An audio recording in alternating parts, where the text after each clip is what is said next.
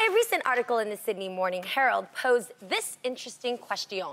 In the age of Me Too, is it still okay to have sex on the first date? Mm. The author, Thomas Mitchell, says that despite living in an age of sexual liberation, sex on the first date still suffers from a bad reputation. He says, quote, the typical narrative tells us it's a big no-no because there's some vague speech about around what people might think, how you might feel, and what might happen.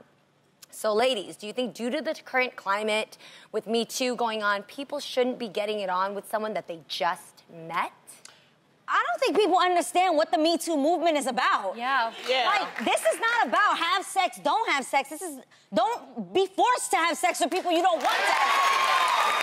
Like, two completely different things. Like Me Too is about something so much greater. So it's about different. boundaries and yes. respect and having intimacy that's consensual. Correct. If well, it's not about what you're saying is not about sex. You yeah. are absolutely correct. The yeah. Me Too movement is about someone taking advantage of someone yes. and correct. they think that they have power. Correct. So it has nothing to do with two consent, consenting adults. Yes.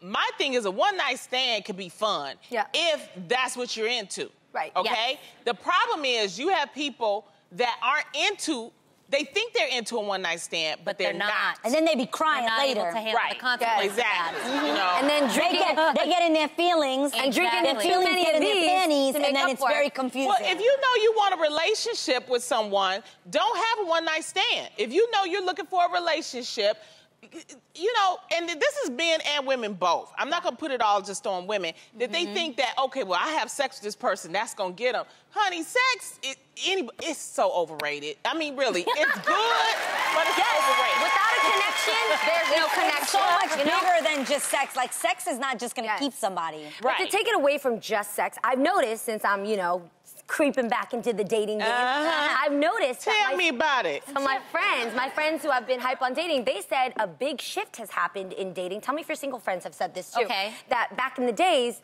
you know, um, most of the time you would wait for someone to make the first move. It might be on the first date, it might be the third date, whatever. It right. could be the man, it could be the woman. But now, all my friends have noticed that the man has stopped making the first move. All my girlfriends are like, uh, they're waiting. It's a third date, fourth date, a week later. He hasn't gone in for the kiss. He doesn't do any touching or anything. And I've asked my dude friends that are single, right. and they are like, you don't know where a woman's gonna go with that story anymore. I ain't touching nobody.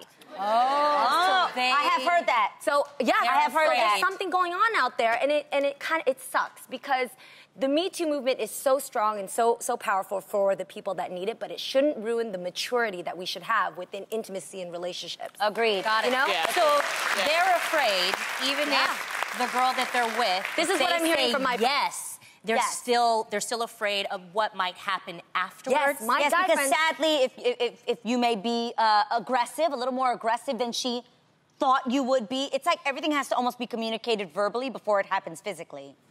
Like, like, which kind of takes the, the moment of it. Imagine if every time, let's say I'm kissing her neck, and then maybe I want to nibble on it a little bit, like a little bite. I have to say, um, is it okay if I then because, because you can nibble and she can be like, oh, you, you bit me.